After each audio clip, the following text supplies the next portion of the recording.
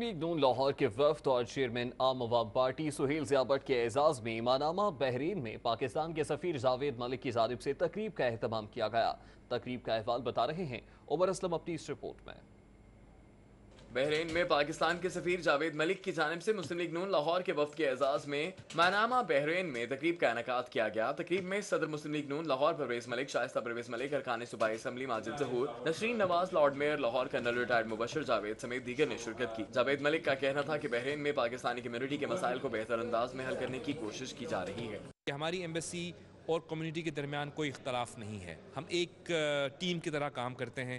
کیونکہ ہمارے لیے ضروری ہے کہ ہم ایک قوم کی حیثیت سے نہ صرف اپنے آپس میں اتحاد رکھیں، بلکہ جو ہمارے ملک کے مفادات ہیں، اس ملک کے ساتھ اور خلیجی ممالک کے ساتھ، ان کی صحیح معنوں میں ترجمانی کر سکیں۔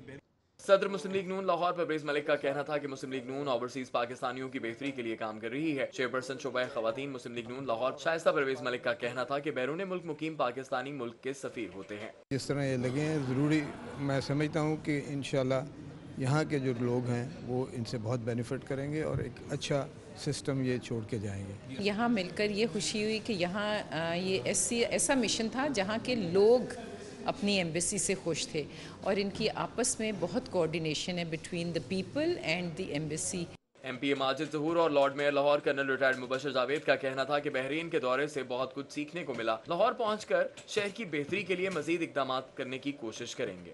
یہ ہماری قیادت کا ویژن ہے جس کے مطابق ایمبیسڈر صاحب چل رہے ہیں۔ And I appreciate his efforts what all he is doing for the Pakistani community and for the Pakistan by itself community کے لوگ بھی یہاں پہ تھے اور سب سے زیادہ خوشی اس بات کی ہوئی کہ سب امبیسڈر صاحب کی تعریف کر رہے تھے کہ بڑا اچھا یہاں پہ کام کر رہے ہیں۔ تو یہاں جو ہم نے لنچ کیا ہے اس کو دیکھ کے بھی لاہور یاد آیا۔ ادھر مسلم لیگ نون کے وفد کے اعزاز میں بحرین کے سفیر جاوید ملک نے زہرانہ بھی دیا۔ مہمانوں کی روایتی کھانوں سے توازے کی گئی۔ بعد ازاں پاکستانی سفارت خانے میں یادگاری تصاویر بھی بنائی گئیں۔ بحرین میں مقیم پاکستانی کمیونٹی نے مطالبہ کیا ہے کہ کم از کم ایک Pakistani higher education system Bahrain میں ضرور ہونا چاہیے۔ کیمرامین کاشف بیگ کے ساتھ عمر اسلم، بحرین۔